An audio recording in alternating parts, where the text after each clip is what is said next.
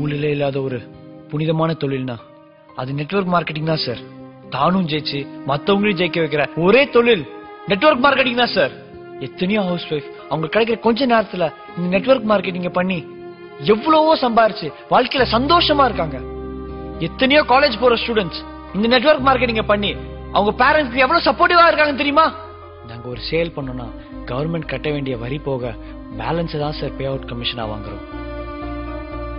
இங்க விளம்பரம்ன்ற பேர்ல உலக அழகிகளையும் சினிமா ஸ்டார்ஸையும் கூட்டிட்டு வந்து உயிருக்கு உழ வைக்கிற உணவுப் பொருட்களை சேல் பண்ணிட்டு இருக்காங்க. நாங்க என்ன அப்படியா சார் பண்றோம்? வாய்வெளி விளம்பரம் மூலியமா மக்கள் நேரடியா சந்திச்சு நாங்க சேல் பண்ணிட்டு இருக்கோம் சார்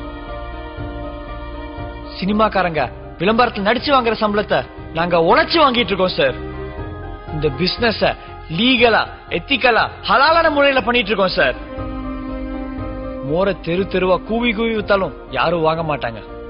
ஏன்னா அது நல்ல பொருள். சாராயத்தை மூடி மறைச்சு வித்தாலும் வாங்கிடுவாங்க ஏன்னா அது கெட்ட பொருள்.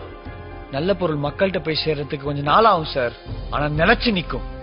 அதே மாதிரி தான் இந்த நெட்வொர்க் மார்க்கெட்டிங்கும் இப்ப கோஷம் போடுறவங்களாம் நாளைக்கு இந்த நெட்வொர்க் மார்க்கெட்டிங் தான் பண்ணுவான் சார்.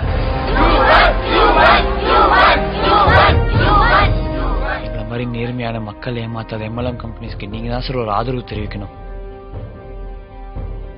இந்த பிசினஸ் நம்பி இருக்கிற எல்லா நெட்ஒர்க்கர்ஸ் வாழ்க்கையிலையும் நீங்க தான் சார் ஒரு விலைக்கேத்தி வைக்கணும். நெட்ஒர்க்கர்ஸ்னாலே ஏமாத்துறவங்க கிடையாது. சமூகத்துல அந்தஸ்து உண்டாக்குறவங்கிற ஒரு நல்ல பேர் வரணுங்க ஐயா.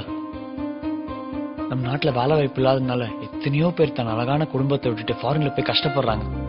ஆனா ஃபாரின்ல இருக்க யாராவது நம்ம ஊருக்கு வந்து கஷ்டப்படுறாங்களா? ஏன்?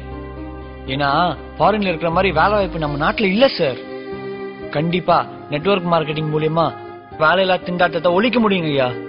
அது மட்டும் இல்லாம இந்தியா வல்லரசு நாடா மாத்த முடியும் ஐயா. எங்களை மாதிரி எம்எல்எம் பண்ணணும்னு நினைக்கிற யங்ஸ்டர்ஸ்க்கு நீங்க ஒரு நம்பிக்கையை ஊட்டணும் ஐயா. நீங்க சொல்ல போற தீர்ப்பு இந்திய இளைஞர்கள் தலையெழுத்த மாத்தணும் சார்